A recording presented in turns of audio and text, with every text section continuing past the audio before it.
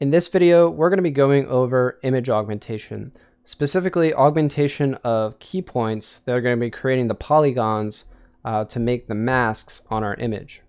Because we're working with uh, such a small number of images and annotating images is very expensive in terms of time, uh, we would like to be able to augment the default data set that we've kind of created such that um, every single new batch that is sent over to a machine learning algorithm, uh, it sees a slight variation of data every single time. So the data is going to be constantly changing, but what this will do is allow our algorithm to reach a more uh, general solution and be able to generalize uh, to unseen data a little bit better instead of creating a fragile solution that will break because it's only been trained on like 200 images, for example. There are a couple of ways to go about image augmentation. For example, if you go over here, Keras has a really nice image data generator class that you can easily build into a, a pipeline. And this is great for standard image classification task. However, when you start to deal with more complicated data like key points, uh, bounding boxes, image masks, I tend to prefer a different library for something like that. Um, so for any kind of image augmentation you would really ever need, I use something called imgaug. So taking a look at imgaug's homepage here, if you scroll down, you'll see an overview of augmenters where they give you lots and lots of examples of possible augmentation. Uh, when it comes to image augmentation, I like to favor very light augmentation, things like brightening, blurs, uh, rotations, things that can be generally encountered in a natural environment where you're going to be doing a lot of your machine learning. Like it depends on there are some niche things where like increasing intensity of color channels, swapping color channels could be useful, but normally it just kind of adds a whole lot of noise into the image and it doesn't really help. So uh, let's go back here and what we're going to be focusing on is key point augmentation. So we already have, like if you look at the annotation files, we have uh, all these points. And these are all our key points that we want to augment such that when we go here you can see that the image has been made a little bit brighter. It's been shrunken down. And all of the key points have also moved in correspondence with how the image was augmented as well. So um, that's really what we're going to be aiming for. If you like they also have something to support segmentation maps and masks which is pretty much exactly what we're doing. It's just I'm doing the augmentation to the key points instead of just drawing masks. I'm a much bigger fan of, like, if you were to have, I don't know, quite a few terabytes of data, why would you store an entire extra image that has masks drawn over the original image? That would really increase the, the amount of disk space that you're going to be taking up, and that's not really scalable in terms of data collection. So I, I went with key points here. So that's what we're going to be focusing on. Um, and at this point, I will show you guys the image augmenter that I used. So this function is actually quite long, and I think it would be a little more beneficial if I just copy and paste it in, and then I comment out different portions, and I'll just explain what's happening in the code instead of like watching me type everything in, which I think is really kind of boring in this example. So uh, we're going to create a function called augment poly that takes in our original image path and our annotation path. Uh, again, pretty boilerplate. We're going to read in our image, read in our annotation data. We only care about the information that's in the, uh, the, the values of the shapes key for that data. And what we're going to be doing in this first portion right here, we're going to be creating uh, an index to keep track of the points that we're augmenting. So when we augment this, there are multiple shapes that we actually do the augmentation to. Um, the problem is when we kind of receive the augmented key points back, uh, we really need to know, like we're going to get a whole bunch of different, we're not just going to get like 0 through 4. We're going to get 0 through, I don't know, 13, and then we're going to get 14 to, to 17 for the square. And then these are just going to keep, the points are just going to keep indexing further and further. And we need to be able to recover the index for each uh, label that we actually uh, are interested in. So if we go back here, that's what we're actually doing right here. Um, the way imgaug does this is it creates this, they have a key point class that will accept uh, these pairs. So uh, we pull out the specific, so within here we have a pair 30, 198. We can come over here, store those in this key point class, and we're just building up all of those points.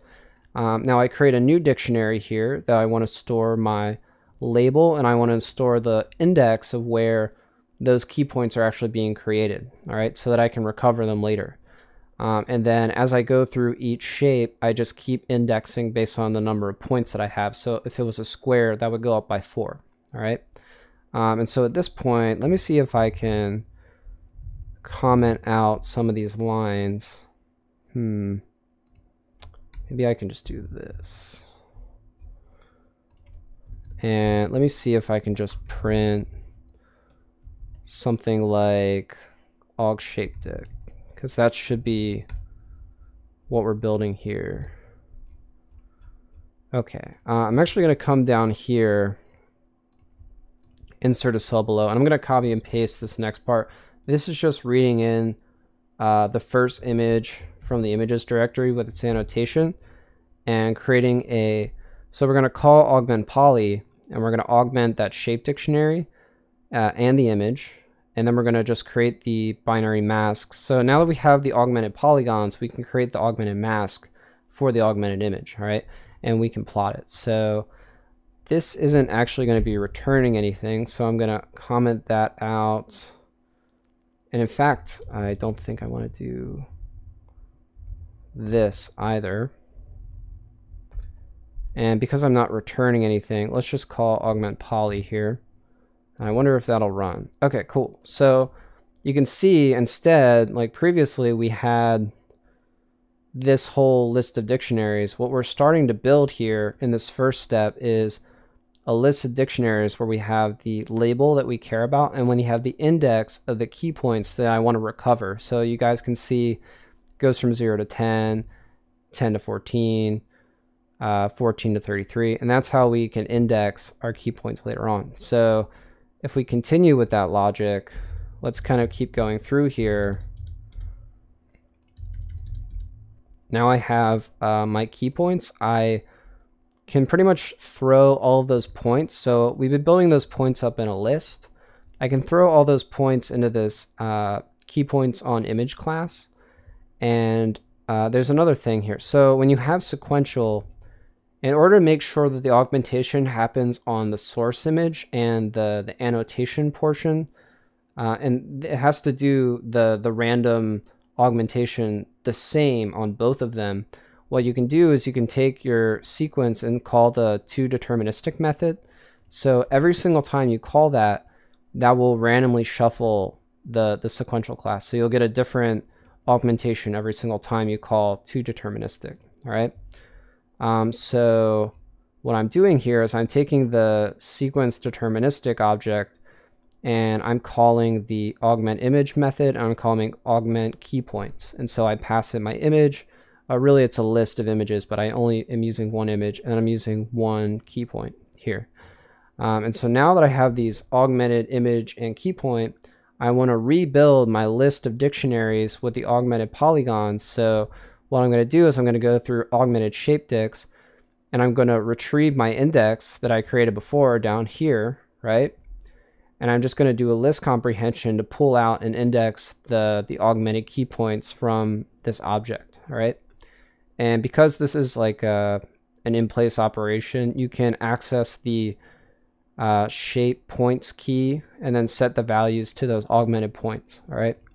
And then, so now you've just created, you modified the augmented shape dictionary, which originally looked like this, and we've now added on these new augmented points. And then we return those from our function. So let's see if that worked. If you come down here and you uncomment this, and I think, yeah, let me add that back in. So now this function is going to be returning some stuff, our augmented image and our augmented polygons, if I run this, what'll happen is now we've got an augmented image. You can see it's been rotated a little bit. Um, let's see if we can get an example of a blur. Okay, so yeah, this is the random blur. This is what the image looks like when it gets really blurry. And notice that the image really isn't like changing a whole lot, but it's changing a little bit. So it's just like if you were to take all the images you've already collected and then collect them a little bit differently. That's what you're looking for for something like um, image augmentation. That's really what you're going for. And I will, this is a, uh, an example just using the binary image augmentation. If you'd like to take a look at the, uh, what did I do? The multicolor augmentation, uh, it's very similar and that'll just be in the Jupyter notebook. I'll put both of the Jupyter notebooks. Um, one is for all the stuff that I talked about in these four videos, and the other Jupyter notebook will be uh, an example of, I think it was conditional random field processing. So uh, both of those will be in the GitHub repo. Take a look at them. You know, make sure that you understand. If, if you're someone this is new to you, probably go through all these videos and practice it yourself. Um, you'll definitely learn a lot by doing that. So yeah, I think that's it for the programming portion. So if you're working with a slight modification of the data, or maybe you're collecting your data a little bit differently, this is hopefully enough detail to, to give you an idea of how to replicate this for yourself. That was kind of the goal of these videos. And in the next three videos, we're going to be going over just theories. So we're going to be going over the theory of FCN8, UNet, and then I'll talk a little bit about conditional random field post-processing, all right? So I'll see you guys in the next three videos if you want to watch those, all right?